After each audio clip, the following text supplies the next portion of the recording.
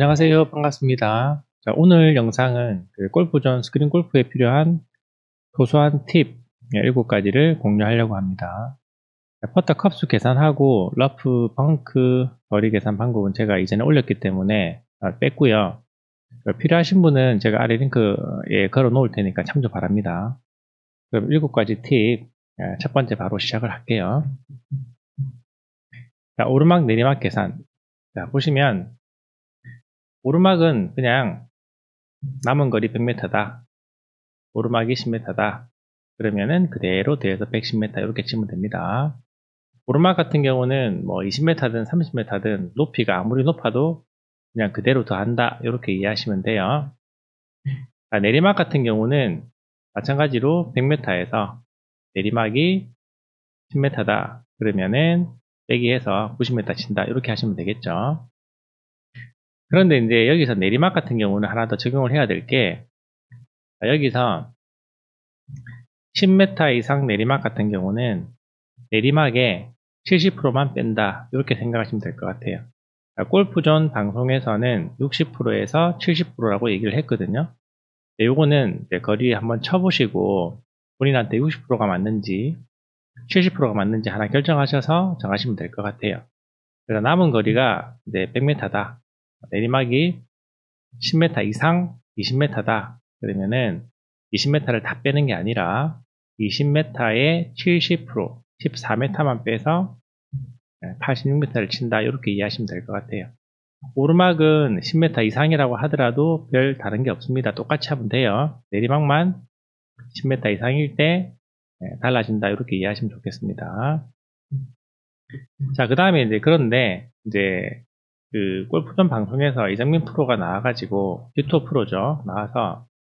그분은 130m 이하다 예를 들어서. 그러면은 높이에 30%만 감안을 해서 샷을 하고 131m에서 뭐 170m까지는 어, 높이에 50%만 감안을 하고 110m, 170m 이상일 때는 100%를 감안한다 이렇게 얘기하거든요 그러면 뭐가 맞냐 이거죠. 위에 거하고 밑에 거 차이점이 뭐냐 이거죠.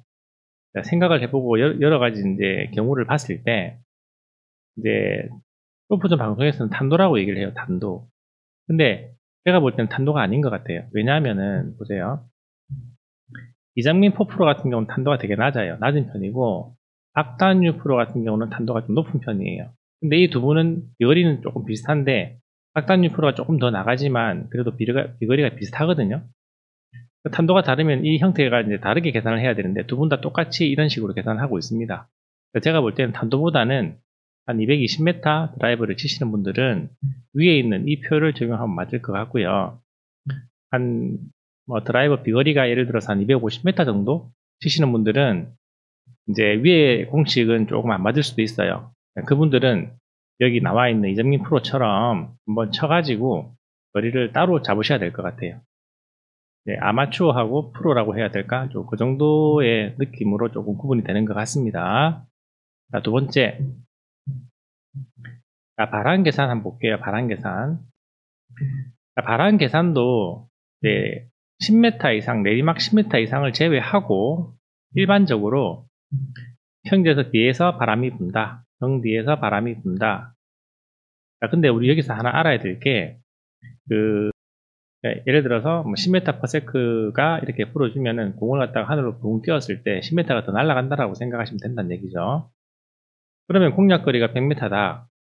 바람이 10m 더 갈 수 있는 바람이 분다. 10m 퍼세크인데 결론적으로는 10m가 더 가는 바람이라 보시면 돼요. 그러면은 이제 뒤에서 바람이 불어주니까 90m만 치면 되겠죠. 그렇게 이해하시면 되고 오르막도 마찬가지, 평지도 마찬가지입니다. 오르막에서는 따로 계산할 게 없어요. 자, 마찬가지로 똑같은 오르막 상황, 이나 평지에서 45도로 분다. 이렇게 하면은 위에 공식에서 딱 절반만 생각하시면 돼요. 어, 100m에서 10m per s 부는데 45도로 분다. 그러면은 10을 다 빼는 게 아니라 5만 빼서 95m를 친다. 이렇게 이해하시면 되죠. 자, 요 밑에 있는 요 두 가지 사항은 위에 거랑 딱 정반대로 만들어 놨기 때문에 따로 설명을 드릴 건 없을 것 같아요. 네, 평지 앞바람.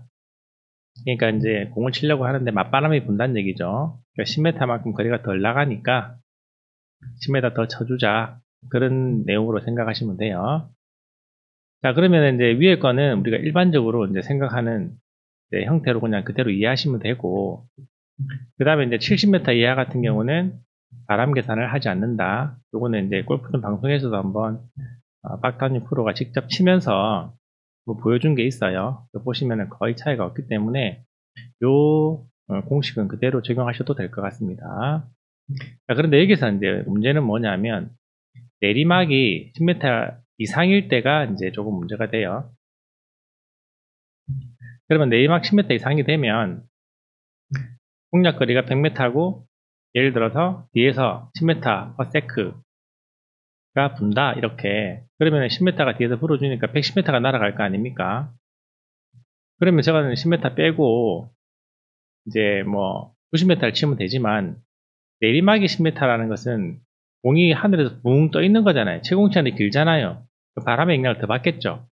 그래서 내리막 10m 이상일 때는 뒷바람이 불고 10m 이상일 때는 공략 거리에서 10m보다 더 120%를 빼서 12를 빼서 88m를 친다. 이런 개념으로 이해하시면 돼요. 마찬가지로 45도 바람은 위에 거의 절반이라고 생각하시면 되고 자 반대로 내리막 앞바람이나 내리막 앞바람인데 45도로 분다. 그러면은 위에 거랑 딱 정반대로만 생각하시면 큰 무리가 없습니다. 자, 근데 여기서 이제 우리 생각해 볼게.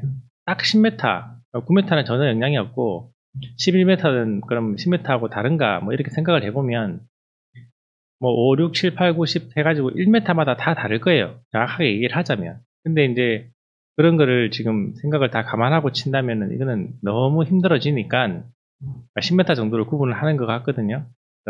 10m 이하는 좀 미비하니까 거리 차이 나봐야 뭐 1m, 2m 차이밖에 안 나니까 공식 적용을 안 하는 것 같고요. 10m 이상부터는 공식 적용을 안 하면 차이가 몇 m가 좀 많이 나기 때문에 하는 것 같습니다.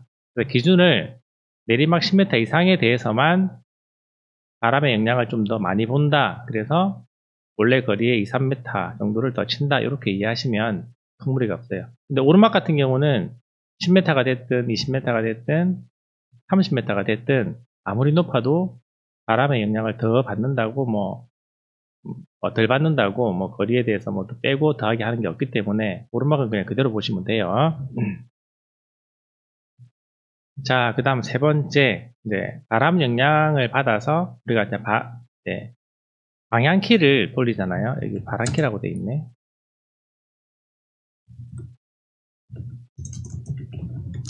자, 우리가 이제 바람의 영향을 받아서 방향키를 돌리잖아요. 그러면은, 어, 여기 써놨는데, 바람 1m/s당 거리가 1m고, 방향키가 한 칸이다. 이렇게 이해하시면 됩니다. 요거는 많은 이제 GTOUR 프로나 골프존 관련하는 분들이 이렇게 이제 얘기를 하고 다 사용하고 있기 때문에, 이렇게 이해하시면 가장 좋아요. 자, 그러면은, 바람이 좌에서 우쪽으로 10m/s 분다. 그럼 방향키로 좌측으로 1분 돌리면 됩니다. 그냥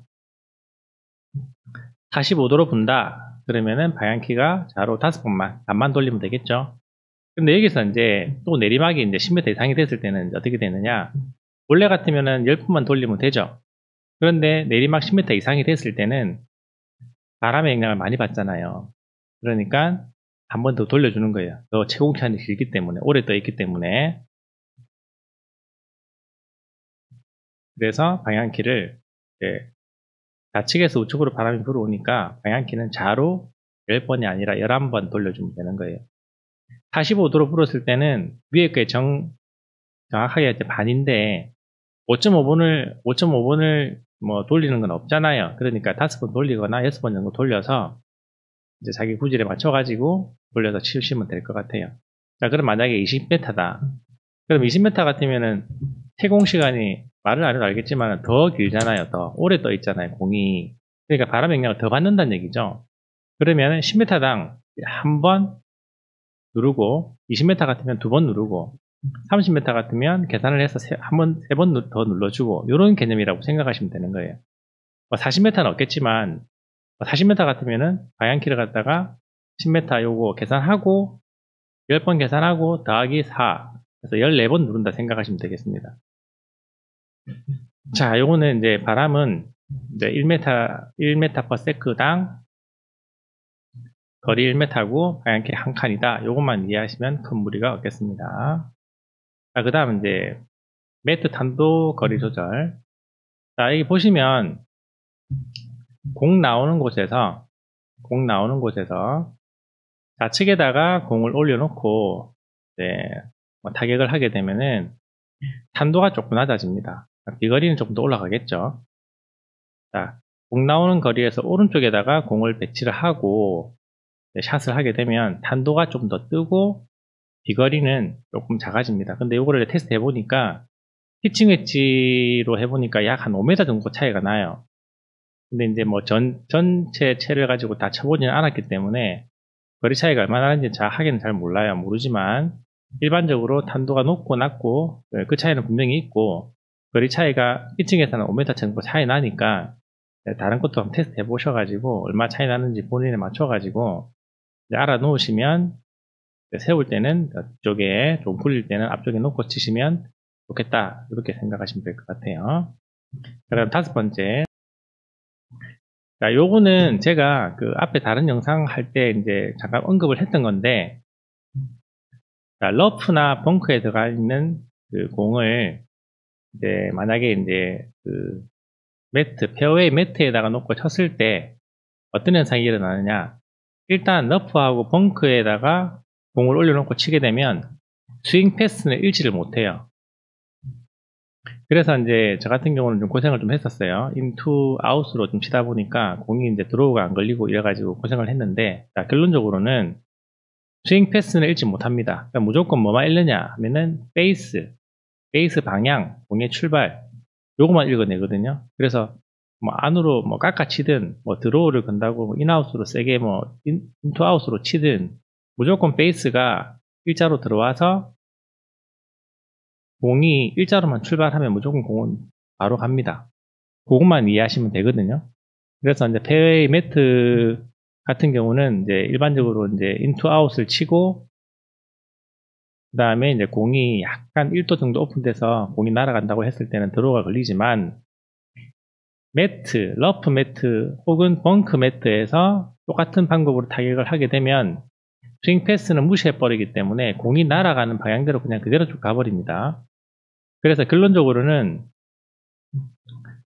만약에 이제 저같이 in to out을 좀 많이 치시는 분들은 방향을 돌리든지 다리를 뭐 조금 돌리든지 채를 닫든지 어떻게든 이 그 러프에서 페이스가 일자로 지나가고 공이 일자로 출발할 수 있게끔 무조건 그 상태를 만들어야 돼요. 그래야 손해를 보지 않습니다.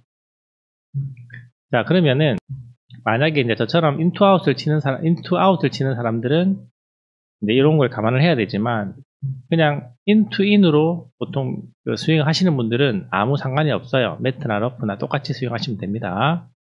이렇게 좀 감안하시면 큰 무리가 없어요. 거리 계산 같은 경우는 제가 다 따로 해놨으니까 내 영상 한번 보시면 돼요. 자, 그 다음 이제 러프하고 헤비 러프에 대한 설명을 해볼게요. 이제 제가 이 헤비 러프를 알아보려고 진짜 많은 영상을 한번 찾아봤거든요. 거의 없어요. 왜 없는지를 내가 이제 알아보니까 이거예요. 왜 없느냐면 지금 골프존 같은 경우는 지금 보시면 알겠지만 이 흰선이 이제 지금 그 오비거든요. 오비. 근데 우리나라 지금 이제 골프존 그 보면 이 도로 옆에다가 거의 오비선을 갖다 붙여놨어요. 근데 heavy 러프가 어디냐 그러면 이 도로, 이 도로 옆에 약간 있는 공간 잘 안 보이시지만 여기 이 도로 왼쪽에 있는 풀, 여기가 heavy 러프예요. 그러니까 오비선이 너무 가깝다 보니까 대부분 이쪽으로 나가버리면 오비가 되니까 heavy 러프를 치시는 경우가 적다는 얘기죠.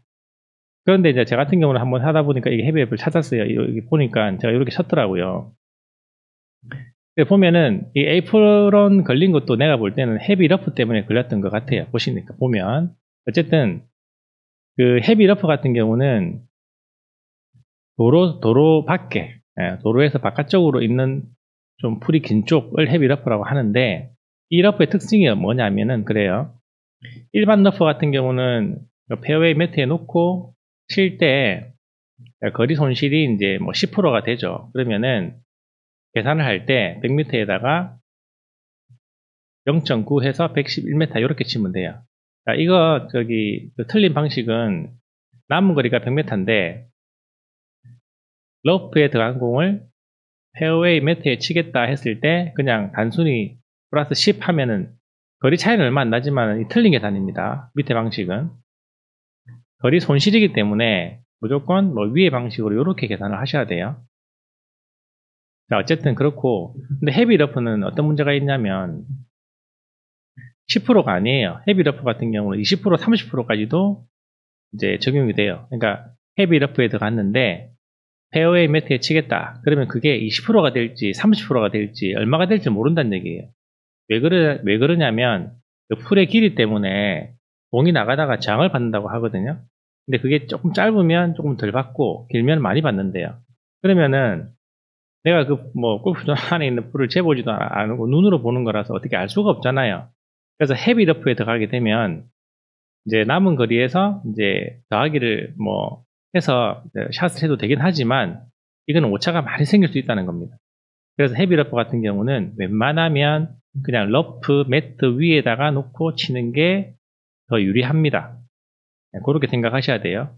그리고 이제 만약에 이제 혹시나 이제 30%다 heavy 러프도 갔다 제가 30% 계산을 한다고 치면 남은 거리가 100m인데 heavy 러프에 들어간 공을 페어웨이 매트에 놓고 치겠다. 그러면 30%라고 해서 30 더하면 망하는 거예요. 이거 틀린 계산입니다. 위에 거 보시면 알겠지만은 30%가 덜 나간다는 뜻이기 때문에 100m에 0.7 이렇게 나눠보면 142m가 나와요. 벌써 12m가 차이가 나죠. 그러니까 어, 10%는 차이가 얼마 안 나요. 위에 보시면 알겠지만 그렇지만은 이게 30% 되면 상당히 차이가 많이 나기 때문에 헤비 러프 같은 경우는 그리고 이게 반드시 30%가 아니에요. 어쩔 때는 17%, 어쩔 때는 20%, 어쩔 때는 30% 되기 때문에 요거는 이제 그냥 어, 러프 매트 위에 놓고 치는 게 제가 볼 때는 맞다고 생각을 합니다. 자, 그 다음 마지막으로 이제 한 설명을 드리고 마칠게요. 여기 보시면 해저드 같은 경우는 거리 손실이 5m다. 요거는 사실 조금 오해한 부분이 있고 그 어떤 분은 뭐 그냥 아니다, 어떤 분은 맞다라고 얘기하는 분이 좀 있어요. 있는데 제가 이거를 찾아봤어요. 이제 찾아봤는데 이 심장 무적 골프 사회라고 그 영상을 찾아보시면은 골프존 개발자가 알려주는 거리 계산법이라고 해서 그 골프존 개발하신 분이 직접 나와서 해저드는 5m 정도 더 나가, 덜 나간다라고 분명히 말씀을 하시거든요.